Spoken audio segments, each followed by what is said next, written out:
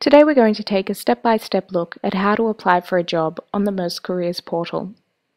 When you arrive at the site, you can see a long list of all the current vacancies at Maersk, so you'll need to narrow your search field. Search for a job or choose a location, company, or job function to see which relevant vacancies are available. In our example for this video, we will be looking at vacancies in Asia within the shipping or naval field. The Career Area search engine has found three results. If we click on this job here, Crewing Operations Manager Mumbai, we'll be able to see more information about the job. On this page, it's important to pay attention to both the Key Responsibilities area and the Who We Are Looking For area. Both of these lists provide valuable information about what the company is looking for in a candidate. Down the bottom, you can find more practical information. The closing date of the job application, the hiring manager, and any specific requirements will be listed here. After you've read this page carefully and crafted your CV and cover letter to fit the job, continue by clicking Apply. This takes us to the registration form. If you have made an application for a job with Maersk before, you can simply log into your profile and continue your application from there. But for this example, we're going to register a new account. Start by filling out some basic personal details and providing an email address. It's very important that you provide an email address that you have open access to. Lastly, indicate that you accept the conditions of the data privacy statement. If you're at all concerned about data privacy, then please read the statement carefully.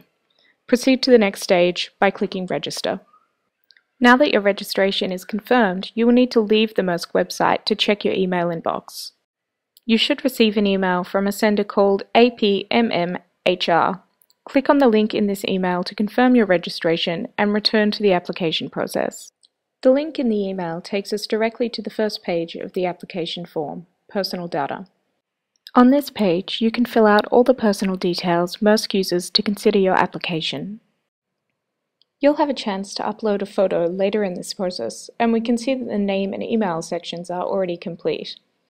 Use the calendar to select your date of birth. You can see to the right that you also have a chance to add a middle name on this page and indicate if you hold citizenship in more than one country. On this page, it is only mandatory to fill out the fields that are marked with a red star, but completing this process now may save you time if you proceed to the interview stage. Below your personal details, you'll be asked to indicate whether you are already allowed to work in the country in which the job is located. It is mandatory to answer this question and the following question about your native language. If you would like to add more details or mention other languages that might be relevant to the job at hand, you can place them in the box below. You can choose to share your online profiles in the final box. Proceed to the next stage by clicking Next Step. The next stage of the process asks you to upload some attachments, such as your CV or proof of qualifications. Start by clicking the Add button underneath the Attachments section. Type in the name for your document and then choose the type of document you're attaching. Choose the correct file from your computer. Click Upload to attach the document to your application. Repeat the process to add more documents. Be aware that your document should not be more than 2 megabytes in size and should come in one of the file types listed at the top of the page. In most cases, you should be uploading at least a CV and a cover letter for the job. You now also have the opportunity to upload a photograph to go with your application. If the job application required evidence of qualifications such as diplomas or degree certificates, don't forget to upload those as well.